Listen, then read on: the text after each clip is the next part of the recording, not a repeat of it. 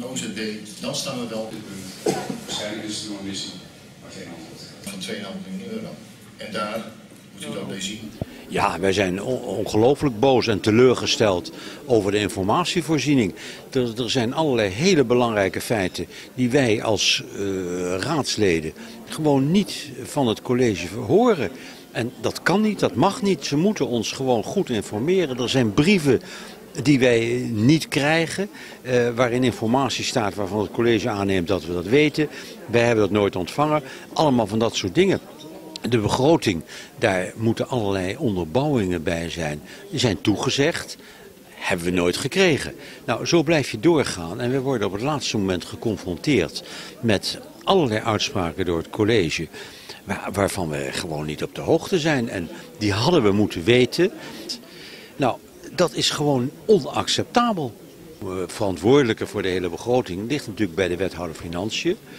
En de wethouder Financiën die, die, die, die faalt op een groot aantal punten. Ehm, wat ook heel frappant is, dat eh, gisteravond hadden we geloof ik wel geteld 50 amendementen en moties. Vandaag zijn er nog een, een behoorlijk aantal aan toegevoegd. Nou, dat geeft aan dat de raad ontevreden is met deze begroting. Als je zoveel wijzigingen wil aanbrengen, dan is dat gewoon onacceptabel. En dan is dat een motie van wantrouwen richting het college. Al die amendementen en moties dat het college, ik heb dat geloof ik twee geteld waar het college zegt van ja nou oké daar kunnen we mee leven. Dat vinden we acceptabel. De rest zeggen ze allemaal niet doen, niet doen, niet doen. Nou, ook zo'n houding van het college geeft aan hoeveel verschil er is tussen college en raad. En hoe weinig het college eh, tegemoet komt aan de wensen van de raad. Maar nu is er een motie van afkeuring aangehouden. Eh, is dat niet een beetje vervelend dat dat eigenlijk boven uw hoofd blijft hangen? Ja, eh, natuurlijk vind ik dat vervelend. Ik had liever duidelijkheid erover gehad. Maar eh, ik vind het toch eh, sportief dat ze gezegd hebben, nou gezien de hele situatie, ook met, rondom de stemming eh, van de begroting, voor de begroting, tegen de begroting, dat ze op deze manier gezegd hebben van deze houden we aan en we bezien de ontwikkelingen. hoe het college met deze dag omgaat, hoe het college met de stemming omgaat van, van, op de begroting. Ja, nou, Maar heeft dit gevolgen voor de verhouding binnen het college? Nou ja, het heeft wel gevolgen voor de verhoudingen. Ja, want de coalitiepartner heeft voor het grootste deel drie van de vier leden hebben, hebben tegen de begroting gestemd. Nou, dat is natuurlijk nogal wat als collegepartij. Nou ja, daar zullen we ons over beraden. Dat, eh, Ik wens u succes. ja, dank u wel.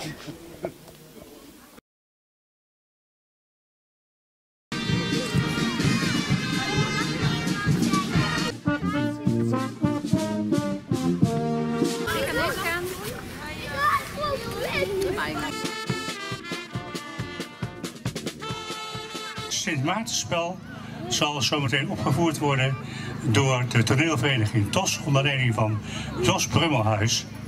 En die zullen het, eh, het begrip van het Sint Maartensfeest uitbeelden. En dat begrip dat houdt in dat je voor elkaar moet zijn, elkaar moet kunnen helpen. Zoals die rijke man die een stuk van zijn kleed gaf aan die bedelaar. En zodoende iemand weer gelukkig maakte. En ik hoop dat jullie, zeker de kinderen, dat voorbeeld zullen volgen om ook anderen te helpen. Toegeeflijk, hè? Dat samen delen, dat is belangrijk. Als jij die kant even vasthoudt. Zo, er nog eentje. Ja, kijk. Ja, die kant, of laat hij maar even vasthouden. Kijk, ja, zo. Mag jij deze even vasthouden? Hier zo, kom jij hier maar even staan. Hier in het midden. Hier, snij er maar doorheen. Zo. Zo, goed zo. Dankjewel. Goed gedaan hoor. Even een applaus voor de kinderen, die hebben goed geholpen. Mag je en hop. Dan moeten jullie samen delen, hè? Dus even bij u gaan staan en ik heb ook nog wat lekkers. Willen jullie even helpen met brood uitdelen? Ja? Kijk, scheur maar even een stuk brood in tweeën zo. zo. Wat lekker. En wat is ik voor? Zo. Dank u wel, Maarten. Hebben jullie ook nog honger of willen jullie ook een stukje brood? Nou, hartstikke goed. Bedankt hoor. Voor snoep moet je aan de andere kant zijn. Waar? Hier, bij die meneer. Voor snoep moet je aan de andere kant moet hier zijn. Ik heb mandarijntjes. Mag ik ook een mandarijn? Nou, hier jij mandarijntjes?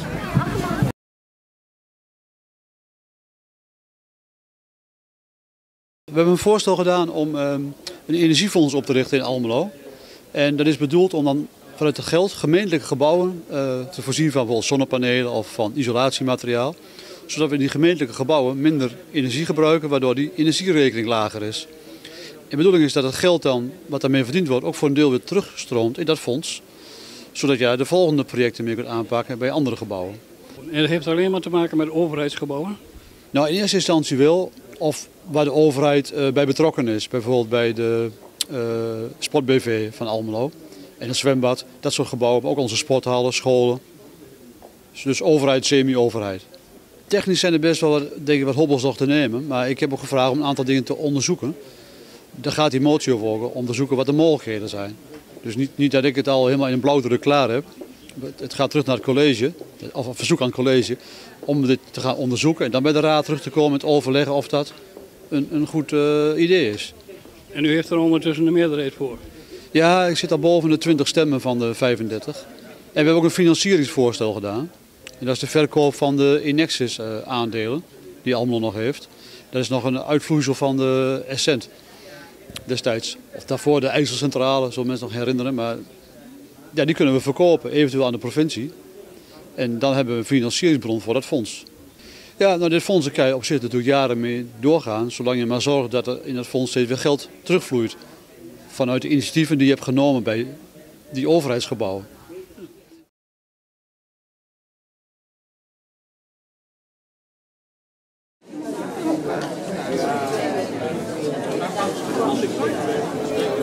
ik ben al uh, ruim 14 jaar uh, hiermee bezig. Begonnen in uh, 2001 en met het project Rembrandt schildertjes. Dus daadwerkelijk begonnen met de kinderen in, op 17 mei 2002. En het was de allereerste keer, maar ook de allereerste keer van Rembrandt Fiesta. Want we maken deel uit met het project van Rembrandt Fiesta. Ja, dan weer applaus voor Rembrandt schilders. En uh, ik vind het ook uh, ja, een hele eer eigenlijk dat ik dat van haar mag overnemen. En ik hoop dat met net zoveel enthousiasme te kunnen doen als zij dat altijd gedaan heeft.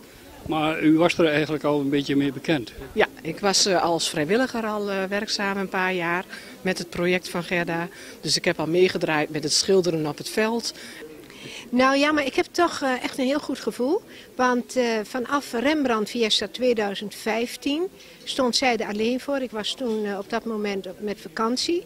En als ik dan zie met hoeveel enthousiasme en veel energie enzovoort zij dit doet en de ideeën die ze heeft. Ik, ja, ik denk dat het reuze meevalt. Dus uh, ze zeggen altijd wel, ja, je moet een beetje bescheiden zijn. Maar um, ik weet wel zeker dat zij uh, het net zo goed kan als ik heb gedaan. Oh zeker, en ik heb ook uh, aangegeven dat ik heel graag een adviserende rol nog wil houden. Dus niet fysiek echt bezig zijn, maar je kunt je voorstellen, door al die jaren heb je toch ook ja, eigenlijk wel ervaring van hoe bepaalde dingen moeten en welke dingen je moet mijden enzovoort. Dus ik wil wel heel graag een adviserende rol nog houden en dat is me ook toegezegd. Het project van Gerda. Dus ik heb al meegedraaid met het schilderen op het veld. En ook al bij de exposities zoals we vandaag hebben gezien. En ja, straks krijgen we nog uh, de exposities bij de scholen. Dus uh, daar ben ik ook bij betrokken geweest. En nu uh, doe ik dan de coördinatie inderdaad, ja. Nou, ik wens u veel succes. Hartelijk bedankt. Ik ga mijn best doen. Schildertjes. Het thema voor de Rembrandt schildertjes 2015 was Mijn hartewens, hoe ziet de wereld eruit als ik een wens mag doen? 51 kinderen deden eraan mee. Zij kwamen samen op het Rembrandtveld in Almelo in vier witte tenten, waar zij onder leiding van acht kunstenaars aan het werk gingen.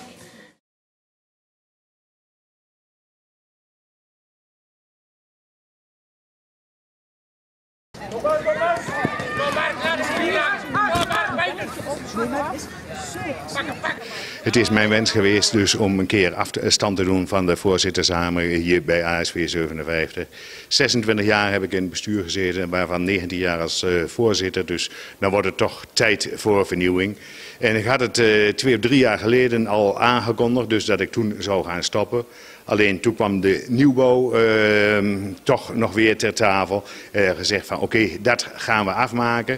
En uh, nou, begin dit jaar hebben we dus de nieuwe locatie in gebruik genomen. Twee jaar geleden hebben we al, dus mijn opvolger Patrick Vollenbroek is die in het bestuur gekomen. En ik heb er alle vertrouwen in dus, dat Patrick de club steeds verder zal uitbreiden en, in de toekomst. We hadden een commissie gehad, dus er was een bestuurscrisis, voor een nieuw bestuur te creëren. Alles was ingevuld behalve de voorzitter. En ik zat ook in die commissie, toen werd ik gevraagd, dus ja, wil jij dat dan doen? Ik zei nou... Uh, ik wil het voor negen maanden doen. Ik heb alleen één probleem. Ik word straks uh, volgende maand, dat werd een maand later, geopereerd aan mijn knie. En ik weet niet hoe lang dat duurt. Ik ben geopereerd en viel van het een in het ander. En kwam nooit meer aan het werk. Dus, en toen was ASV voor mij een hele prettige hobby. Uh, hier kon ik mijn ei nog kwijt. Hier kon ik iets terug doen voor de gemeenschap. op tijden wat me paste, dat het ook kon. En nou, dus dat viel toen eigenlijk mooi samen. Uh, dan wil ik eigenlijk bij deze de vergadering sluiten. En jullie allemaal uh, uitnodigen om zo'n drankje aan de baak. Is het om een zwaargewicht als Gerard Hondenbrink op te volgen? Nou, dat uh, zal een klus zijn die absoluut niet eenvoudig is. Maar het is wel een klus die ontzettend uitdagend is en waar die we ook niet uit, uit de weg gaan. Heb je speciale plannen met de ASV? Nou, we willen eigenlijk uh, met het beleid doorgaan uh, zoals het voor jaren terug ontwikkeld is. Nou, de, de, de, fundamenten daarvoor, dat is gewoon een, een, een goede accommodatie. Nou, is de laatste tien jaar is daar volop in geïnvesteerd. En nou, dat is nou achter de rug. We weten nou hoe, waar we, hoe we er financieel voor staan, wat we kunnen en wat we niet kunnen. En dan gaan we proberen te investeren in de jeugd. Zodat we de jeugd ja, toch naar de senioren kunnen krijgen. Dat is dus wat hier de laatste jaren dus nooit gebeurd is doordat uh, ja, wij, wij beperkt waren in onze jeugdhelftallen. Ik denk dat je hier nog wel uh, redelijk vaak te vinden zal zijn. Dat uh, weet ik wel zeker, ja. Maar zo in één keer alleen maar thuis blijven, dat zit er nog niet in.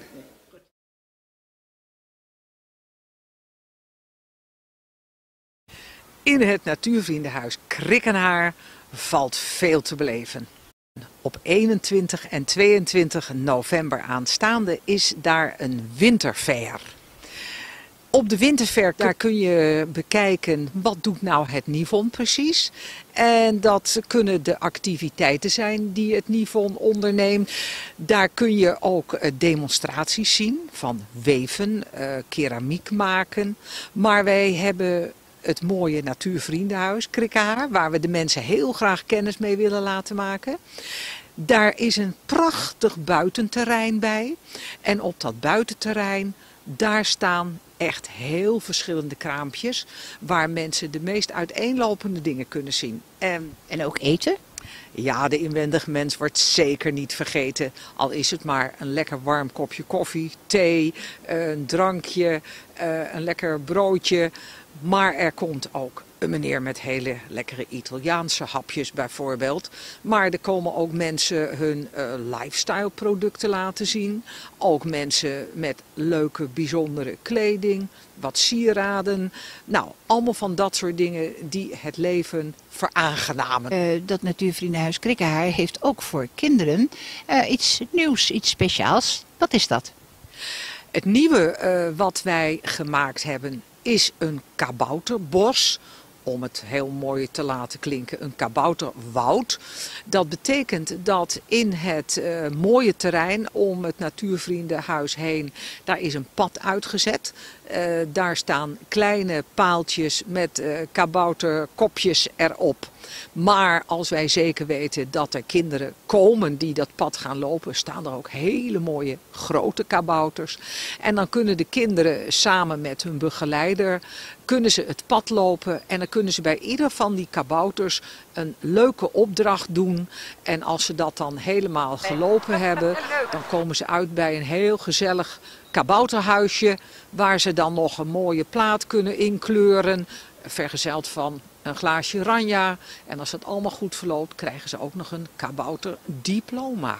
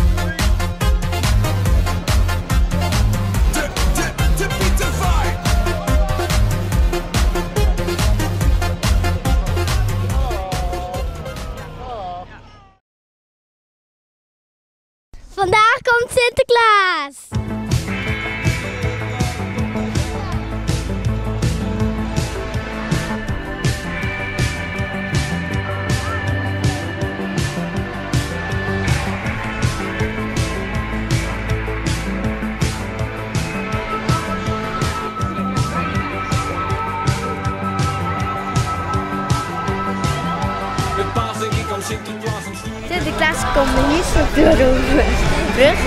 En dan komt hij daar zo uit. Linkerklei. Met heel veel zwarte piet. En wat je piet. Cadeautjes, pepernoten. Oké, kut. Komt dat? Sinterklaas,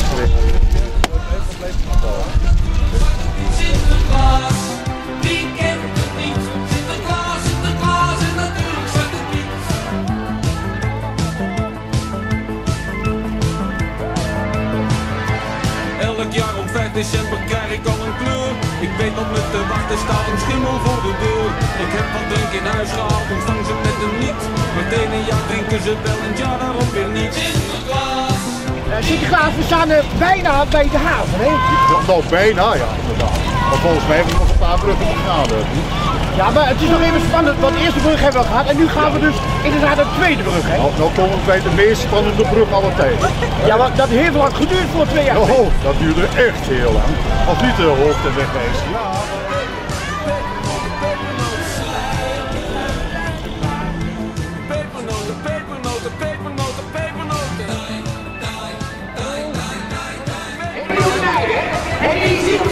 Komt er vandaag aan? Ja, Sinterklaas natuurlijk en een heleboel Zwarte Pieten. Althans, dat hoop ik. En bent u blij dat hij weer in het land is? Absoluut. Ik ben blij dat hij weer in het land is. Volgens mij is iedereen er ook weer aan toe. Het is Sinterklaastijd. En Almelo zeker. Want je kunt zien hoeveel mensen hier nu eh, aanwezig zijn om Sinterklaas hier eh, binnen te halen. En wat hoopt u nou dat u nou krijgt van Sinterklaas dit jaar? Ja, ik heb eigenlijk nog een paar nieuwe sportschoenen nodig. Hardloopschoenen. Dus ik hoop dat Sinterklaas daar nog een beetje aan denkt. Maar het is wel een duur cadeau. Dus ik weet niet of dat erin zit. Ik ben ontzettend blij dat hij er weer is. Jongen, we zijn bijna aan de avond Almelo! Steeds terug en terug en terug. Heel veel cameramensen. En, en Sinterklaas heeft ook een camera aan boord. Het is Fleur, Fleur moet er al. Fleur, klapkleur. Ach, kijk eens aan. Oh, wat een drukte, wat een drukte. Oh. De fotografen staan in elkaar. De pers. Met die tabbert En alle de pers is ook aanwezig. Sinterklaas loopt vol aan de boven. En Sinterklaas is in Almelo. Ja, daar is hij! Sinterklaasje! De Sint is in het land, samen met de Pieten. Pepernoten overal, tijd om te genieten. De Pieten zijn de bom, dat zul je vast wel weten. Maar de Sint mag je niet vergeten. We roepen Sinterklaasje, met zijn grote lange baard. Sinterklaasje, zit altijd op zijn witte paard. Sinterklaas, hoe is het om weer in Almelo te zijn? Heel fijn. Ja, heel fijn. Zijn er- Dat je alles mee hebt gekregen wat er gebeurd is onderweg. Nou, ik ben, ik ben wel moe, maar wel heel blij dat ik er ben. En zijn er nog veel stoute kinderen in Almelo? Of is iedereen zoet geweest? Nee, dat weet je. Stoute kinderen, dat bestaat niet meer. Dat is een begrip van heel vroeger. Maar tegenwoordig houden we het gewoon gezellig. En zijn allemaal lieve kinderen.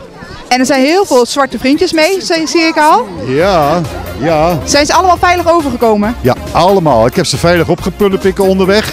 Ze waren allemaal van boord af, maar ik heb ze één voor één weer op de boord geplukt. Hè? Nou, we zijn hartstikke blij dat u er weer bent. Nou, en ik ben blij dat ik jou weer zie. Hè? Tot de volgende keer. Te gek, oh yeah, wij zijn te gek. Wij zijn te gek, oh yeah, wij zijn te wij. De pieten komen langs, s'nachts op de daken. In de sneeuw, in de kou, om schoenen vol te maken. Dus wees een beetje lief, We gaan je niet vergeten, want we kijken je moest eens weten. We roepen Sinterklaasje. Vai,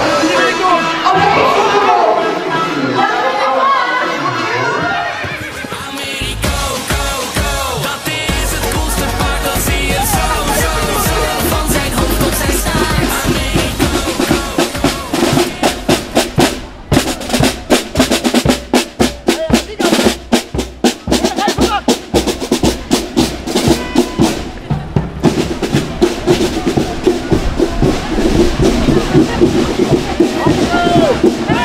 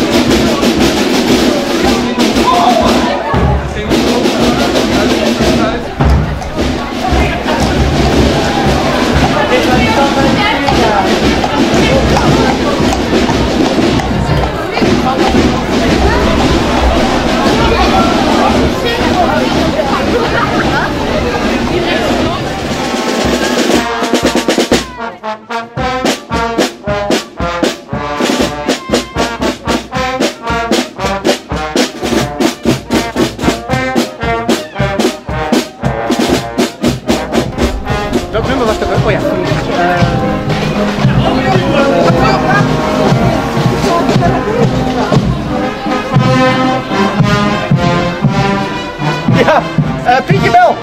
Ik, ik heb, ja, Pietje Bel. Ik heb een uh, pakketje voor u. Twee pakketjes.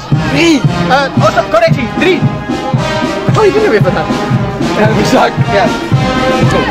Oh, de deur moet goed gesloten. Oké. Okay. Kom maar naar binnen, hè.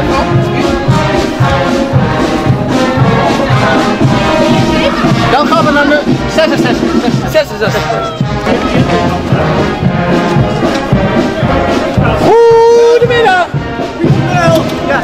Ja, ja 66! Oh, dat, eh... 13 moet... 13. Hier, dit is de deur. Nee, maar dat kan toch niet, jongens? Dit is de deur. Hij zei bij 13. Maar dat kan toch niet? Vind jij het? Bel. Aanbellen. Aanbellen. Bel. Bel. Bellen. Hoor wie klopt daar, kinderen? Hoor wie klopt daar? Hoor wie klopt daar? Zachtjes tegen het raam. Twee pakketjes. Twee pakketjes. Drie.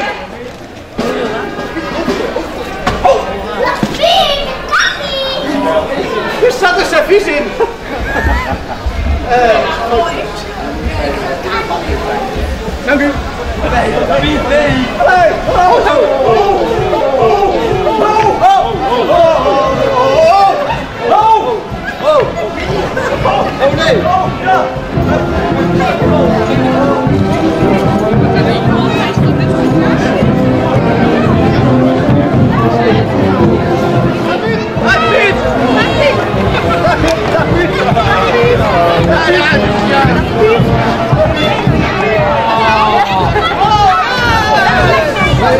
Hey!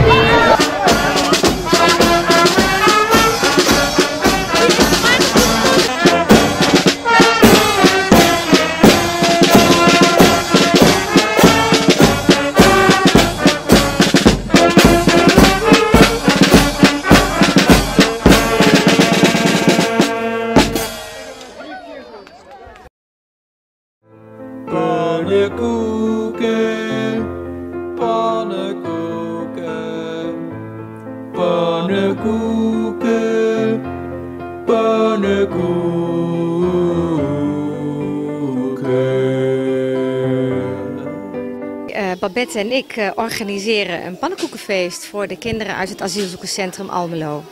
Nou, ik eh, wandel op maandagavond vaak eh, met een vriendin, Margreet. Margreet is nu aan het bakken in de keuken.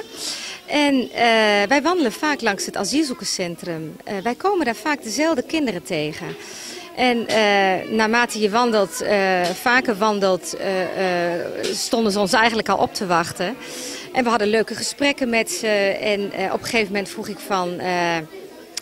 wat hebben, jullie al gegeten? Want het was een beetje vroeg. En eh, ze hadden gegeten, ze hadden eh, pasta gegeten die avond. Maar ze vertelden ook dat ze erg van pannenkoeken hielden. Nou, ik kwam thuis en eh, ik zat met dat hele pannenkoekenverhaal in mijn hoofd. En toen zei ik tegen mijn man en dochter, ik moet hier iets mee gaan doen. Ik heb toen gelijk gebeld met het asielzoekerscentrum en mijn plan voorgelegd. En ik kreeg meteen de juiste man aan de telefoon en hij vond het een erg leuk initiatief. Ja.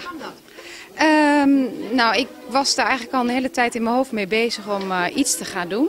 Ehm, iedereen zag natuurlijk het nieuws en eh, die vreselijke beelden en ehm, de, de negativiteit eh, in het nieuws en van sommige Nederlanders.